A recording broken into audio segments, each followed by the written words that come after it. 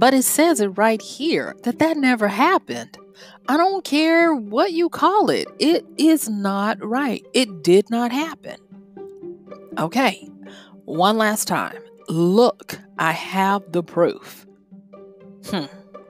Hey, this is Michelle Spiva, your practical priestess of wisdom, and I want to welcome you to today's podcast of Wisdom Smack. Mwah.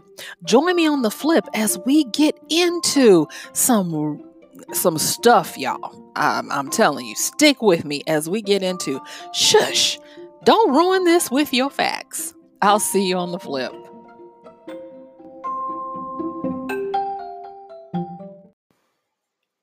Have you ever had that conversation with that person that no matter how much proof you give them, how much evidence you show them, how many times you point out something written in black and white that their belief is not right? They refuse to change. We've all had those conversations, and I'm going to tell you that nine times out of 10, there are things about you that you believe that are wrong, that you're not willing to change. And so, the wisdom smack that I have today is dealing with being able to get past that little thing about us that makes us so stubborn when it comes to overriding our belief systems. Now, if you'll permit me, I'm going to take you back and tell you a little bit of how this came to be. When our ancestors were in the hunter gathering stage, this is pre uh, agricultural revolution, when we congregated in smaller tribes, and everyone in the tribe had a responsibility to the tribe as a whole. And what would happen as is human nature. Some people in the tribe were always more productive than others. Some folks were downright lazy. And as we started to increase our ability to conversate, to make words, to uh, communicate with each other, um, different things were uh, built in our brains to keep us from um, being duped, being used, uh, because there were a lot of times that you had to not trust your lying eyes or words, but your gut. And so we learned over the years to always trust ourselves more than we trust anybody else, no matter what they tried to show us, because that could mean you being the only one pulling the weight for a whole tribe of people who would lie to you. And uh and so through the ages, it came down to us holding our beliefs as higher above even evidence. Um, but that doesn't translate now as well that we have moved out of the survival age where you bringing in an extra three berries maybe mean the life or death of people in the tribe to now where we're in the um, technological information age and we need to pay attention to uh, things that are not true that we might believe that might go towards our detriment. But we're still wired that way. Now, this is not an excuse. I'm not trying to say that people are just going to be people. There's hope for us all. And that is why the Wisdom Smack has uh, uh, hit me up, slugged me upside my head for the last few years to get over myself. And so let's talk about shush. Don't ruin this with your facts. Um, one of the things that I, I uh, like about going through learning this and uh, growing is that it helps us to get a 360 degree uh, view of ourselves and how we um, incorporate things into our belief systems. And you've heard me say this on the podcast before to be willing to tip over every sacred cow, to be willing to tear down every belief that you've had. Um, just like we rearrange our furniture, air out our homes, change from our summer wear to our fall and winter wear, we have to update and air out our belief systems. The the thing that we have been taught through our ancestry of holding on to our own internal beliefs, no matter what, has come to a point now where it's time to update it. So, what am I talking about? There is a name for this situation that I'm talking about, and it's called confirmation bias or my side bias, my side bias. But for the sake of this little chat we've got going on today with the podcast, I'm going to just call it confirmation bias. And the reason why is because there is a subsector of this that I want to get into as well. Uh, one of the richest people at this particular time of recording, I think he is still the richest person in the world, Jeff Bezos. When talking about his uh, company, people he likes to work with, and employees, has said this that the smartest people are constantly revising their understanding, reconsidering a problem they've thought they've already solved. They're open to new points of view, new information, new ideas and contradictions, and challenges to their own way of thinking. Now, that's what Jeff had to say about smart people. And there was this article that was written by Inc. Uh, magazine uh, that talked about you're not as smart as you think you are and i thought it did a, a great job on on condensing um, the confirmation bias down to this and one of the things that they said was is that there is a litmus test uh, that you can administer to see if a person is as smart as they think they are. And it, it dovetails off of what Jeff Bezos has said here. And it's simply this if you have a person who is very certain about what they what they say what they believe and they use things like i think and um, they use uh, things like i know instead of i think then you're possibly dealing with a person who operates in a lot of confirmation bias. Now, confirmation bias isn't as shallow as I've painted it to be.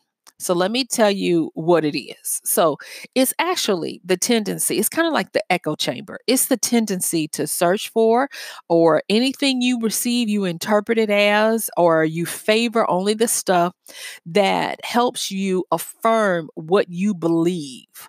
And so it's kind of like you can show that person the evidence and they will still have the filter on to only see the pertinent information that backs up what they believe to the point of excluding information. It's kind of like inductive reasoning gone gone wrong, gone badly wrong. And what happens is is that in this selectivity, they get into this area called a new realm of ignorance. and I'm like, oh my gosh, today.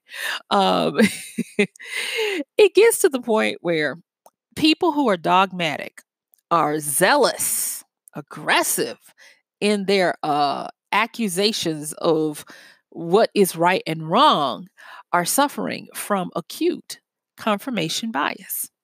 And it contribute it contributes to like overconfidence like i said before being arrogant aggressive in this and what they do is then they try to uh suppose or, or or impose i should say on you their belief systems have you ever had someone who tried to proselytize you over to their religion or who tried in the grocery store, looked at your buggy and tried to convert you to a different way of eating or denying certain food, food groups?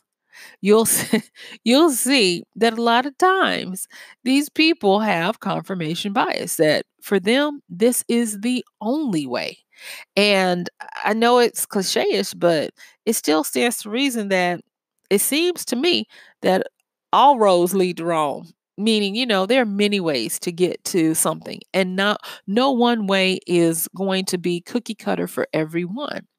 And thus, going back to what Jeff Bezos said, smart people are always revising their understanding of something. They're always open to new points of view. They're always challenging their own way of thinking. And the person who is not willing to be flexible uh, the other day we did a podcast on how not to have an old mind and that meant to be flexible to have adaptability to be open to things to change up stuff and it's it's that's what we're saying here because with confirmation bias what it does is it gets you into a, uh, a realm with many constrictions. And the reason why is because the more you reaffirm what it is that you believe or or you only get into the echo chamber of only telling you the stuff that you already agree with, you shrink down your world and thus you hamper your natural ability to have curiosity, to continue to grow, and you become stunted. And no one wants to become stunted. No one wants to become stuck in their ways. No one wants to be trapped in their own mind, especially when your mind is made to help you break out of the mold and explore. You know? And it goes back to this hunter gatherer thing, but it, it's something even more diabolical and deep. And that is a fear of being wrong. Yeah. I have people that I know, and I'm not going to say how I know them, but as long as I've known them, they've never apologized. They'll buy you a gift or gifts, or they'll try to be nice and do something for you when they know they were wrong, but they can't bring themselves to say it. And I used to wonder, why can't you say you're wrong?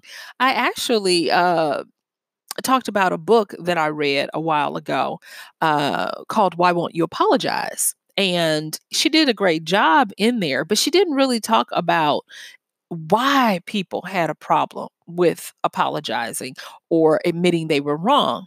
And uh, this uh, this next study that I'm going to talk about that's that's still within confirmation bias, but it is getting a little deeper into it. It deals with uh, the fear of being wrong um, and how the weight of being wrong weighs on people to different levels and and dif- different um, um, amounts. And so there's this saying that uh, I loved and I, I, wrote it down and I wanted to share it with you guys today. And it's, it goes like this it says, The hardest things to say are, I love you, I was wrong, I'm sorry, and Worcestershire sauce. I thought it was the cutest thing. And so that those are truly some hard things for people to say. Uh, but this is where the confirmation bias is also acting on people because it has this tendency to make people dig down deeper into what they believe and to the extent of what they will do. Um, they will get on international TV and use a Sharpie marker to to still prove that they were right, even though all evidence shows that they were wrong. But I, I forgive me for that. Let me get back onto what I'm saying. But yes, it leads into new realms of uh, ignorance, where the the the surface of of what they don't know becomes even wider, even more expansive because they start to paint with a large brush and they figure, well, if I know this, then I know that. And then I can pl- apply what I know about this to other things. They are categorical people, meaning that everything is covered by this rule that I've instigated. And it really becomes hard. So let me tell you about this uh, study. Uh, it was done by Sloman and Fernbach. And what they said was that um, what they did was they uh, did some research and they had people who uh, professed to understand how a toilet worked. And so they were like, okay, you understand how a toilet works. And so they said, they asked them to describe how the toilet worked. And they did. And they told them the functions of what we do with a toilet.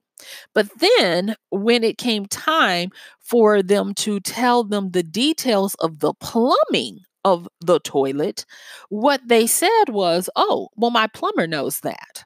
And uh, because in their minds, they knew the person who knew how it worked, in turn, they knew how it worked.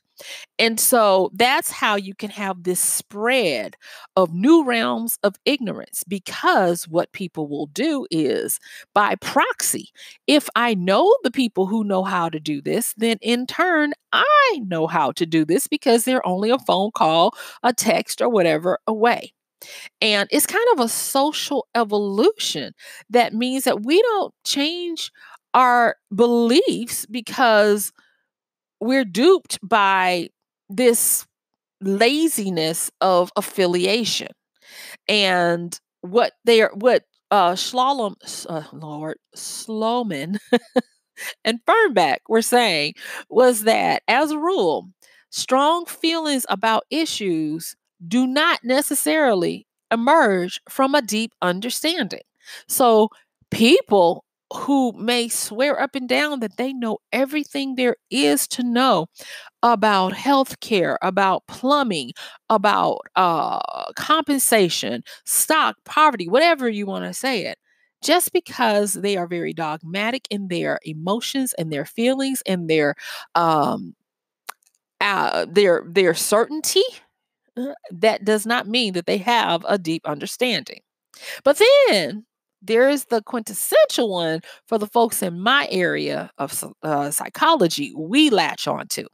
And it is part of the confirmation bias that we've been talking about, but it's in the it's especially geared to, geared towards the field of psychology. And it is like I said, uh, co- uh, cognitive bias. But what it does is, is it takes it a little further, and what they now do is this is where people mistakenly um, think that their cognitive ability is greater than it is, meaning that they believe that they're smarter than they actually are. So not only do we have the cognitive bias of where when someone has a deep-seated belief, it doesn't necessarily uh, is not indicative of a deep seated understanding or knowledge, we now have the Dunning Kruger effect, where people mistakenly assess their cognitive ability as being greater than it is. And so it goes on, uh, the Dunning Kruger or DK, I'm just going to say DK effect, is where, due to illusionary superiority, people have an inability to recognize their own lack of ability. So when you going back to why won't these people apologize? Why won't they acknowledge they're wrong? Sometimes it does not have anything to do with their wrongness. They do not believe they are wrong because due to this illusionary superiority, they believe you're wrong. And there's no reason for them to apologize or say they're wrong. We see it all the time. There are people who commit crimes, heinous crimes, and in their world, their mind, they believe that they are in the right and everybody else is wrong. So, why would they apologize or show remorse uh, or ask forgiveness for something that they feel they it was right. There have been many times people have done hateful things and you ask them, "Will you apologize?" and they're like, "No." And I would do it again if if if it came up again because in their world, the DK effect is in full effect and they believe they are right. Um it goes on with the DK effect, which, like I said, is a, a part of the cognitive bias where people think that they are uh, smarter than they are it goes on to to to dig into something that we talked about yes in yesterday's podcast about self-awareness.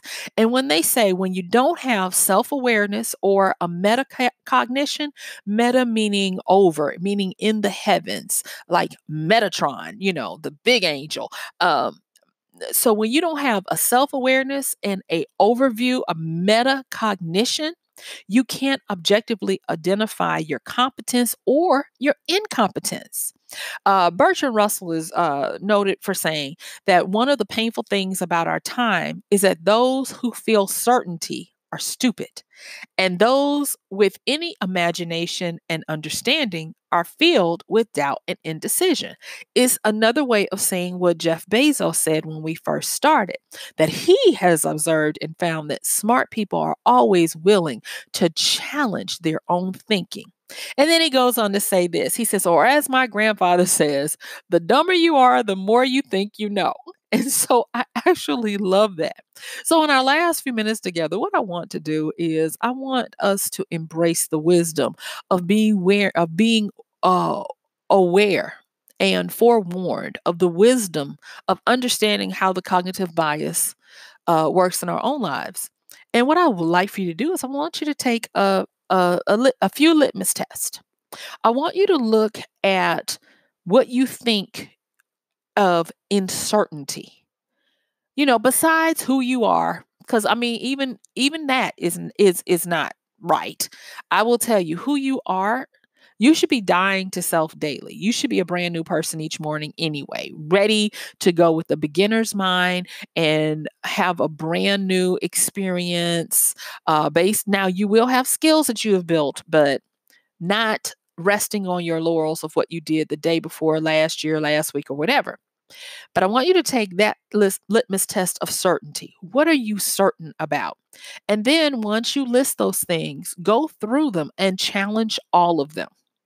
And then the other litmus test I want you to do is I want you to look at uh, how often you have changed your opinion. Now, in the Inc. article that I mentioned, and I will, I, I think I'll, yeah, I'll, uh, I'll put the link in the description for today. In that article, at the last part of it, there was something that was great that was said, and this lady was talking about uh, the DK effect, cognitive um, uh, um, ability, and uh, when it came to confirmation bias. And uh, what she said was, is that if you ever want to know if uh, somebody is as smart as they think they are, she said instead of asking them, oh, I'm sorry, it was a guy. He said instead of asking them, do you know this for sure? Can you prove this or whatever? Ask them, when's the last time you changed your opinion? And if they're not able to answer that with any kind of believability or certainty, then yeah, you're probably dealing with someone who is enraptured in uh, the confirmation bias. And I think it's unfortunate, but it just comes down to the more you know, and if you are willing to grow. You see, for some people, the cloak of false superiority is all they have. Uh, they deep down inside, that shadow side convicts them. And they know that they don't know as much as they would like, but yet and still, they cling to the things that they believe they know for certain, even when it has been proven to be wrong. Let's take a look now at the world of conspiracy. And I want to tread lightly on conspiracy theorists. And the reason why I say that is because not all the time are they wrong. I'm gonna, I'm going to say um, they could be just as right as they could be wrong. But what I will say is this that depending on the personality type, you will have some who are willing to be open to be challenged, to challenge their own thinking, to keep looking, to truly embrace the idea that there is always another secret to be un, to be unearthed uh, or revealed. Or you can have those that say i know what i know. I don't care what you say. I know what i know. And uh, I, one time i was asking someone what made for conspiracy. And um, they weren't able to tell me as succinctly as uh, the resource that they pointed me to. And they had me re- uh, watch this documentary of this person who was a, a, grand conspiracist.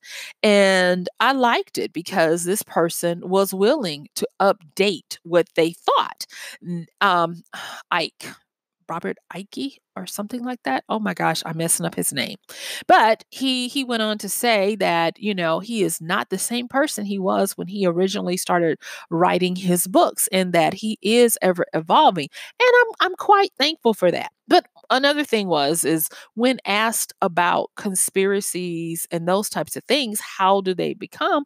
And he was he was very open and he said something to this effect that if given enough time, you can connect any point to any other point. And that is true because everything is always connected. Les Brown has this saying that I like. Les Brown, the uh, famous motivational speaker, and he says that every story must have a point, but every point must also have a story. And I always think of the conspiracies and and how sometimes the conspiracies we we we actually find out that they weren't conspiracies. They were real. And it just makes me wonder at how many people are locked in these imaginary worlds because they refuse to expand and to grow and to learn how to make as many dots connect as possible so that they can break out of these confined shells. Um, going back and you guys have, who've been listening to me know that right now I'm, I'm doing a lot of study on strategy. I'm actually doing it not only to be able to talk to you guys about it but i'm, I'm working on some books that require uh, this skill set for the main character and so that's why i'm doing a lot of study on um, uh, strategy. But one of the things that um, has become very prevalent is that the more fear a person refuses to deal with, meaning that they are driven by the fear, instead of acknowledging and embracing it and living with it like you would a death advisor, the more they tend to be conservative in their actions. And if you ever let an opponent who is not saddled with that burden, if your opponent ever finds out that you are driven by fear, meaning that you try to avoid it or it is um, the boogeyman, they know that you're conservative and that you're not willing to take risk and they can exploit that. But the more you embrace your fear and you make fear your your friend you because you understand fear is always going to be there. Fear is not going not nowhere. And instead of trying to avoid it hide from it or um appease it you're like okay we're going to do this thing and uh, bring it you become more progressive in an exploratory and adventurous in what you're what you're doing. And thus you have um, the alexanders and the napoleons and uh, the the shaka zulus and all of these great military strategists um, throughout the ages. And what these experiments that we've talked about today for cognitive bias all point to the fact that when you're operating within a cognitive, uh, um, excuse me, a uh, uh, a um, a biased that uh, the confirmation bias is so strong, it means that you are ignoring or trying to quash a fear. And usually it's a fear of being wrong, or it's a fear of being found out that you feel like you're an imposter. Uh, check the podcast that we did on the imposter syndrome uh, for more on that. Or it's a fear of having uh, to face your reality, in that you have painted this world um, that you like to view through because viewing things in the harshness of the reality that you're in is too painful. And so, therefore, that's how you can have a lot of people who don't have a lot of experience but yet and still they believe that they are the best. Um, there's another saying that says, seen a lot, experienced little. And depending on the context, it can be good or bad. In this context, it is not good. Just because you've quote unquote lived through the person or the plumber does not mean that you know how to fix the toilet. And you shouldn't be so certain that you do. It's kind of like the person who comes to the artesian or the master, and because they have uh, one violin and they've always had this violin, they try to tell the master violin maker, Stradivarius or somebody, how to do their job.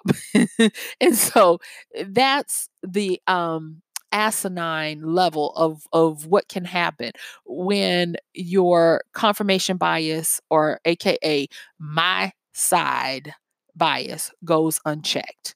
So, guess what? Mm-hmm. My time is up.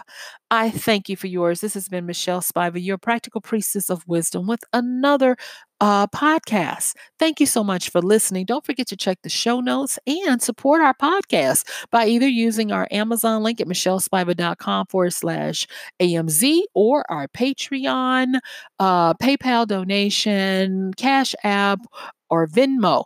And I'll see you tomorrow. Bye.